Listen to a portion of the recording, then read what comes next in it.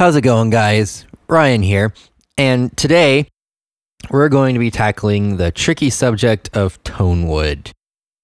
The very popular topic that you've been seen on boards and all over the internet with a bunch of videos with lots of opinions and tests and things like that. So I'm going to try and compile all of that data that's out there into one little kind of comprehensive video and see if we can't figure out if tone wood is actually a thing, whether it affects the tone of your electric guitar, if at all, and if it does, how much. Does it really matter? What should you be valuing it as compared to the other things that affect your tone of your guitar? And so, um, before I start, I want to make one thing clear. Today, we are going to be talking about electric guitars. Because with acoustic guitars, the wood is the actual physical thing making the sound of the guitar. And so the physical makeup of the wood in an acoustic guitar is incredibly important. And so I don't think there's anybody out there that knows anything about acoustic guitars would argue that statement. Today, however, we're going to be talking about electric guitars. And electric guitars are different in a couple different ways that we'll talk about in just a minute. So I just wanted to make sure that we're clear that um, with acoustics, it matters a lot. But today we're going to be talking about electric guitars. And so before I give you my opinion and what I've concluded from the things that I've researched and found out, um, I think it's best if we start off with a definition of what tone wood is. If you guys haven't heard of this um, this topic before, basically what a tone wood is is it is the wood chosen for the creation of an instrument based on the tonal characteristics it will provide. And so the person making the guitar picks a certain kind of wood supposedly to change how the end instrument will sound. And so the popular statement that I can gather from people who discuss this topic is the statement they're discussing is whether the species of wood used in elect- the body and parts of the electric guitar noticeably affects the overall sound of the instrument. And there's two different aspects of the sound of the instrument that we'll talk about later. But first, let's kind of take a look at how an electric guitar makes sound in the first place. And this kind of comes from three different aspects of the guitar. So in front of me here, we have this very nice drawing of an electric guitar that I threw together in like two minutes. So, you know, over here you have the neck and you have the strings and you have the pickups and you have all the goody works inside. You know, so it's a guitar. And the three things we're going to be talking about are the pickups and the electronics, the playing style and the strings. These are kind of the three factors that produce directly change how an electric guitar sounds. And so, first up, we're going to start with pickups. Now, pickups are the things mounted in the body of the guitar. So, there's one right here, there's one right here in my amazing drawing. And what they are is they are magnets that pick up the strings vibrations as they move within the magnetic field of the pickups and they turn it into AC signal that travels along these wires here and comes out the, the instrument jack right there. Now, to me, as far as that's concerned, is this aspect, it doesn't seem like the wood of the guitar would affect that aspect of the guitar that much. Because all it's doing is it's seeing the string, you know, you pluck it and it wiggles around like that at a certain frequency and resonance. And the pickup here sees that string moving in and out of its magnetic field and reproduces that in AC signal that kind of represents the waveform that would come out of it at the end. And so that part of the guitar doesn't care at all what the body of the guitar is made of. All it's seeing is it's a magnet And since the body is wood, it doesn't really care because it's not mag- um, metal, it's not ferrous, so it doesn't have any magnetic field to it. So it doesn't care what the wood is. It could be in a cinder block for all it cares. All it cares about is the string that's moving in and out of its magnetic field and reproducing that in AC signal down the line. So that's the pickups. The next part is the playing style. Now, your playing style can be different between much playing different people. For me, I'm pretty heavy-handed when it comes to my guitars. I like to play the crap out of them. To me, I think it may not sound better, but it definitely feels better to play it when you're, you know, strumming like you have a tree trunk for an arm.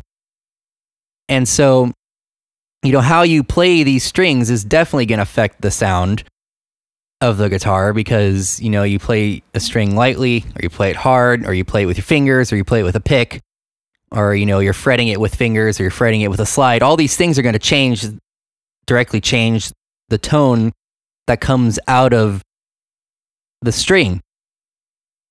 And so, as far as the tone wood of the guitar is concerned, you know, I don't see how the wood the body is made out of would affect your playing style. Sure, you know, it could be you know, a little heavier or maybe the fretboard feels a certain way and so it makes you kind of play a certain way, in which case it may kind of affect the way it sounds, but it's not really directly. It's more affecting the way you then play the guitar because the string isn't actually ever resonating off the fretboard. It it hits it makes a pinpoint between the fret and the the bridge, and it changes the scale length, and then that produces your note. The fretboard is just something that holds the frets in place and stops your finger from pressing all the way through the neck of the guitar.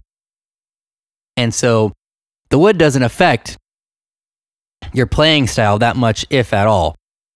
And so, as far as that aspect is concerned, I don't see how the wood can affect the sound of the guitar in that way either. And so, the last part, then, last hope for tone wood people is the strings. Now, the strings are actually what creates the energy that is then produced in sound, either acoustically coming directly off of the string that you hear, you know, with your ears when you're not plugged in, or coming out of the guitar from the instrument track from the AC signal that uh, the pickups receive, and then going through an amplifier or through um, uh, an amp sim or your your interface or whatever.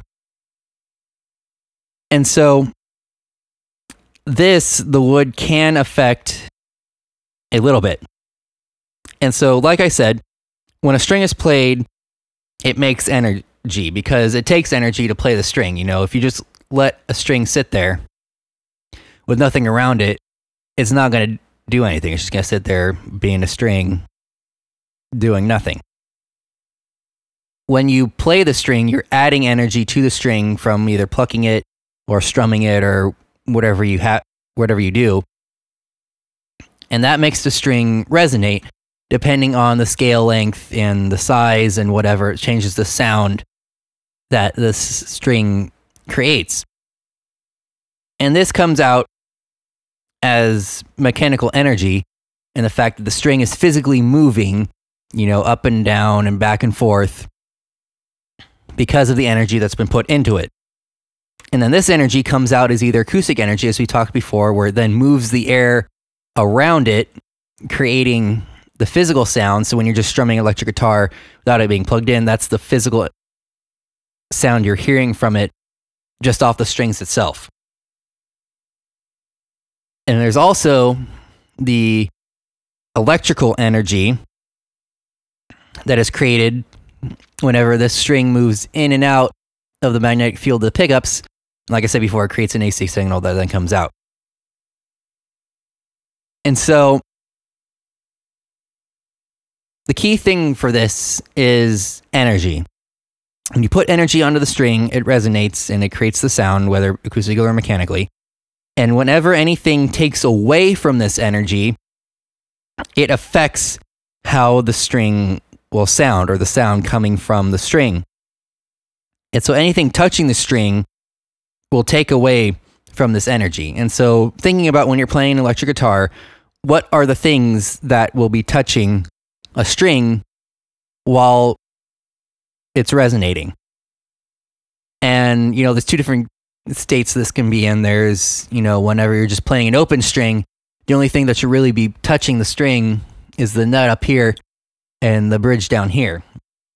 You know, there's not really much else, you know, unless you have really terrible action and starts buzzing against the frets here or maybe hits the pickups, you know, that will also affect because it'll take energy because it'll hit it and it'll lose some energy that way. But ideally, the only things that be touching the string are the bridge and the nut. And then if you're playing the guitar or, or, fretting it, you know, your finger will be, you know, on a fret right here. Here's a finger. You can't tell. That's what it is.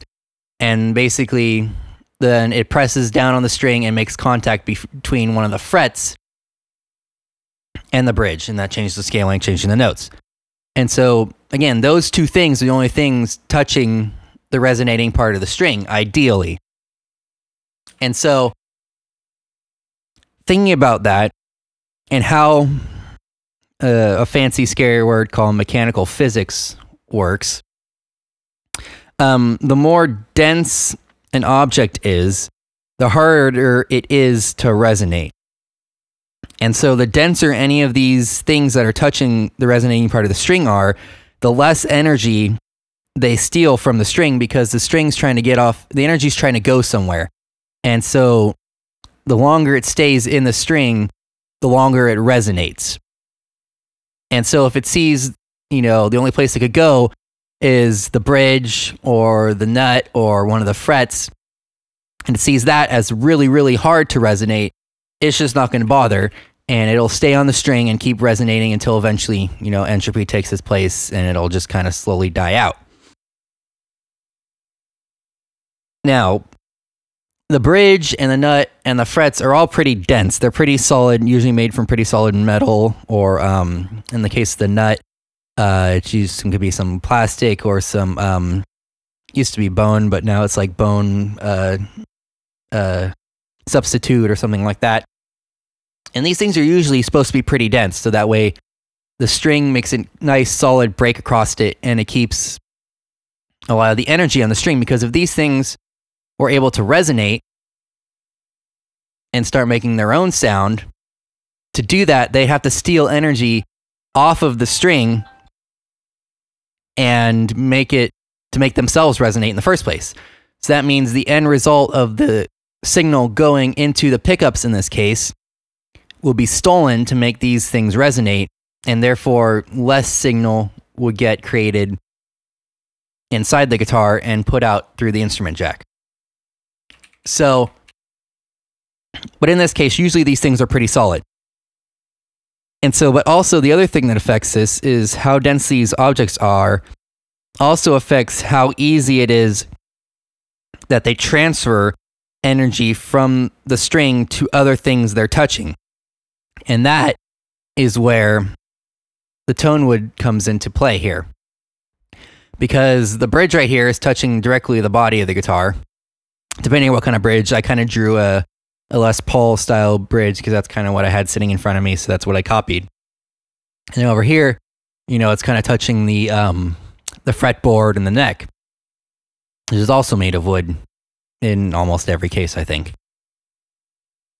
And so the denser these things are, means less energy they steal from the string but it also means it's easier for them to transfer that energy into something that they are touching.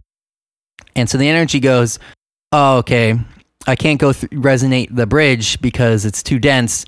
So it kind of treats it as one object. And it's like, oh, but I maybe I can resonate the wood below it because the bridge is so dense I can't move it, but maybe I can have it move the wood below me.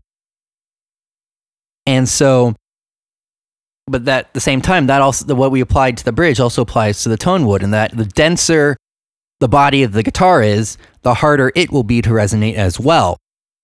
And so the more energy it'll keep on the string. And so in the same side, the more resonant the body is, the more energy that will be stolen off of the string and get thrown into the body in order to make it resonate and make its own sound. And so this is kind of one of the um, it's not really one of the main arguments of tone wood, but it's one I've seen thrown around um, that doesn't really make a lot of sense. Is that some people say, you know, hey, I picked this piece of wood because it really gives like a 1K bump, you know, for my guitars. It really helps it cut through the mix. You know, this kind of wood really helps me cut through the mix like this because it resonates and it adds the sound. And really, it's kind of backwards. Like if the wood's going to resonate at 1K, that means it has to get that energy from somewhere. And so what it's doing is it's going to steal 1K off of the string and use it to resonate itself, which means actually you'd kind of get a dip at 1K and some other things according to harmonics and things like that. And so that argument never really made sense to me. So, um, you know, don't don't listen to anybody who says that because it doesn't work that way. But in order to be getting back to the tonewood stuff, in order to be 100% correct, the wood that the body of the guitar is made of, according to things I've researched and things like that, it does affect the overall end tone of the guitar that is produced electrically, so through the pickups and things like that. It does affect it, but it's really, really minor compared to the other aspects and really what when it comes to the the, the statement that we said said before in that the species of wood used in electric guitars noticeably affects the overall sound of the instrument. That's the statement we're talking about. The species of the wood doesn't really decide how the guitar sounds as we said before what really affects it is how dense the body of the guitar is and so, how dense this part of the guitar is is going to depend about how much energy gets stolen off of the string and used to make the body resonate instead of the string resonate. And so, yes, some species of wood are generally denser than others.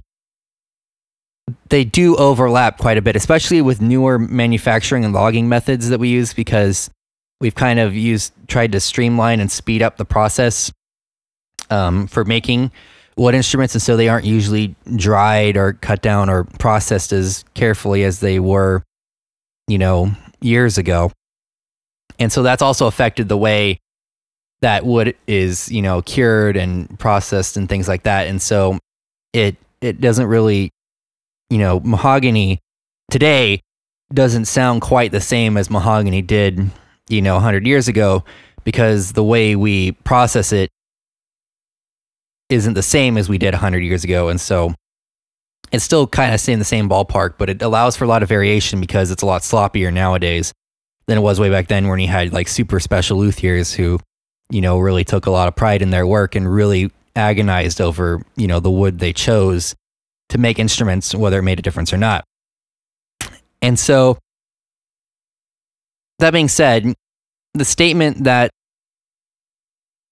the species of wood used in electric guitars noticeably affects the overall sound of the instrument is at face value false because it's not the species of the wood that has any effect on the overall tone of the guitar it's the density of the wood that affects the overall tone of the guitar and so you can have some pieces of ash that sound darker than pieces of mahogany, while mahogany in general will probably sound darker than ash, you can get some overlap in which you can you can get a mahogany piece that sounds brighter than a piece of ash, and vice versa. And with all that goes with every other kind of um, wood that can overlap.